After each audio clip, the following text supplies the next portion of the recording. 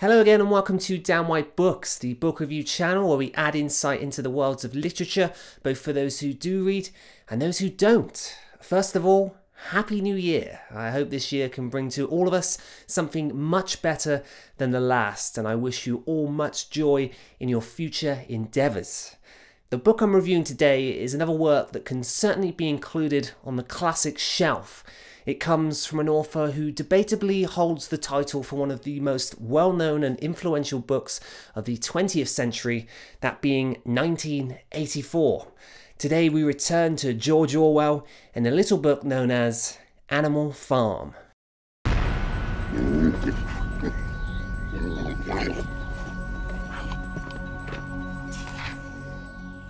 Animal Farm was published back in 1944, although it went through much deliberation before it ever saw print.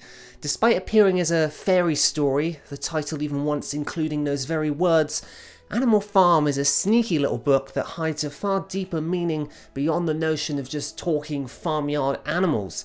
It is for this reason the book ran into some difficulty when attempting to find a publisher.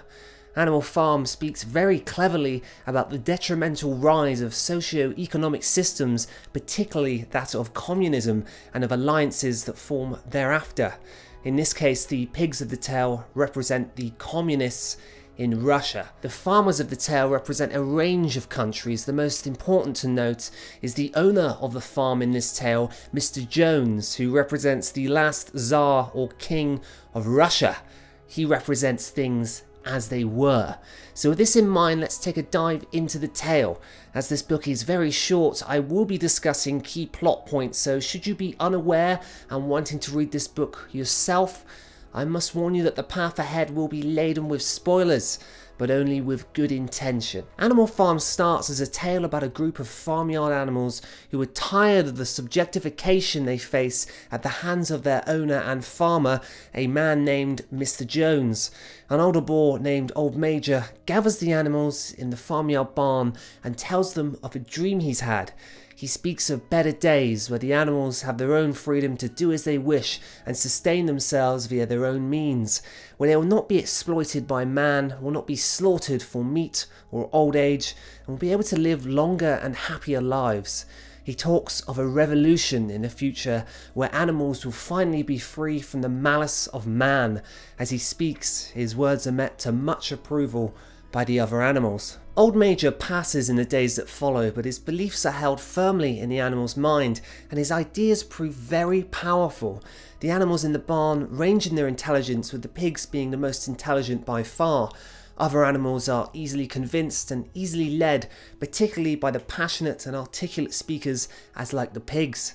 Eventually a turning point arises and the animals revolt against the farmer, Mr. Jones, and take control of the farm for themselves. They wish to live by the inspirational words of Old Major and attempt to create a fair and equal society. This is the basic premise behind the book. At this point we have a collective group who are sick of being repressed and so decide to revolt and create a better society based on the beliefs and ideas of a wiser figure who appears to have the answers. This is a noble goal, however its implementation is anything but fair. Orwell here is mirroring the Russian Revolution and the rise of communism. The animals, at least those who can read and write, those who are educated, in this case the pigs, construct a list of rules they wish for their future society to live by. These two appear somewhat fair and agreed upon by all the animals. They are as follows. Whatever goes upon two legs is an enemy. Whatever goes upon four legs or has wings is a friend. No animal shall wear clothes. No animal shall sleep in a bed. No animal shall drink alcohol. No animal shall kill any other animal. All animals are equal. As the book goes on, these rules mysteriously change, and anyone questioning them is told that they were always as they appear. This is an important lesson to note, simply stating an idea or a law is not enough both for societal or moral purpose. It is one thing to have an idea, but something entirely different to implement it. The animals dream of a better society, of a better way of living, and they set forth rules to make sure they do not become anything like the humans they have overthrown. Life at first seems better, But then things slowly change. The pigs get more rations than others, and the reason for this is shoddy and unfair. Nonetheless, it is accepted. The animals work long and hard days for little reward. The pigs are deemed the most apt leaders and thus need more. Eventually, a pig called Napoleon is not so much put in charge, but rather takes the position after a violent dispute with another pig called Snowball. Napoleon is followed by a pack of vicious dogs. No one dares speak back to him. Information is miscued to fit the chosen narrative of the time, and slowly rules seem to change. History seems to change, but of course, no one wants things to go back to how they were. As time passes, no one even knows how bad or good things were long ago.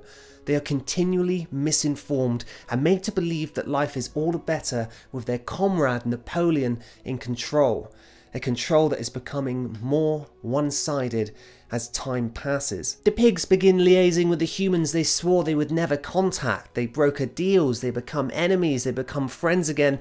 Now, upon the rules, painted in white, are the words All animals are equal, but some animals are more equal than others. And thus, perhaps, the real truth is found. The pigs deem themselves more equal than others, and thus all animals are not equal.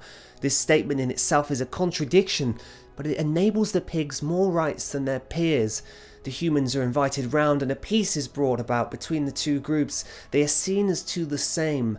The oppressed has become the oppressor. And so the tale ends. Now I'd like to draw back to the start of the video. Orwell faced difficulty publishing this work because of the way it parodied political regimes and systems of oppression, particularly that of Russia who at the time was seen as allies to both Britain and America.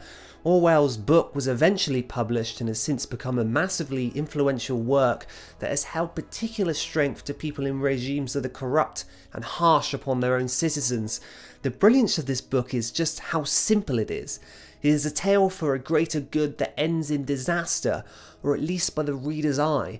The animals are convinced what they are doing is for the better, but the outside observer can see it's all a sham. This is particularly worrisome considering this book is a mirror of power states past. Regimes like this have happened across the world and unfortunately may happen again.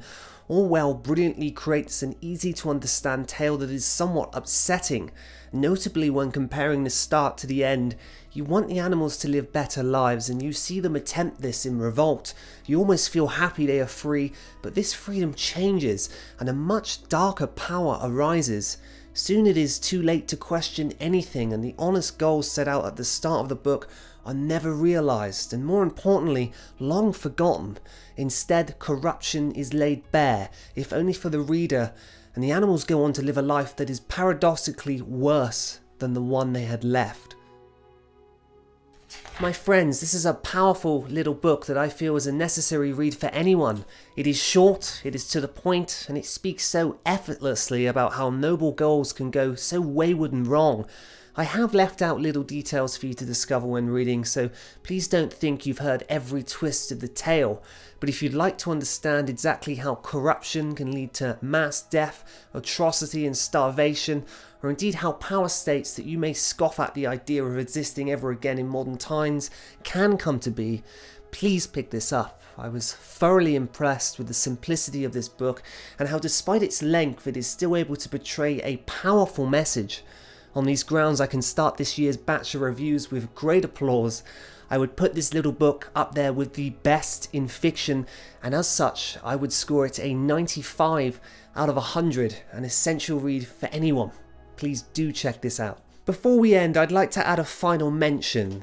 A great inspiration of mine, the late Christopher Hitchens, spoke of this book's revival for another purpose beyond that of politics, and before I finish, I'd like to draw a parallel between the final rule I've mentioned previous and get you to think on it, maybe in the same way I have, because it's certainly something that deserves your time. Humanity is ever changing, and so is the way we treat other animals. With further advancements in science, we are finding ourselves more similar to animals every day.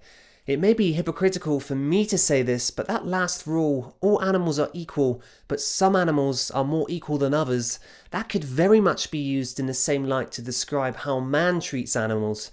I think Hitchens is correct in his thinking, and I do believe in years, in decades to come, people will look back on this book and on that statement and will see how backward things once were. I may be wrong, but I feel a change is coming in the way we perceive ourselves in relation to the animals we share this planet with, for which we as man and some select other species receive an unfair privilege. My friends, thank you very much for watching. Bye bye.